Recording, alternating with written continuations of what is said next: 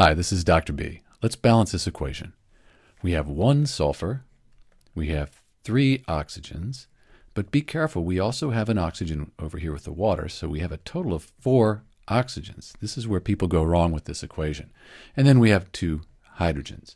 On the product side, we have sulfurs, we have one, oxygens, we have four, and then the hydrogens, we have two. And it turns out that this equation's already balanced. The place where people have problems is they don't add the 3 and the 1 to get those four oxygens. So that's it. This equation's balanced. We could write the coefficients 1, 1, 1, although we don't need to. And this is Dr. B. Thanks for watching.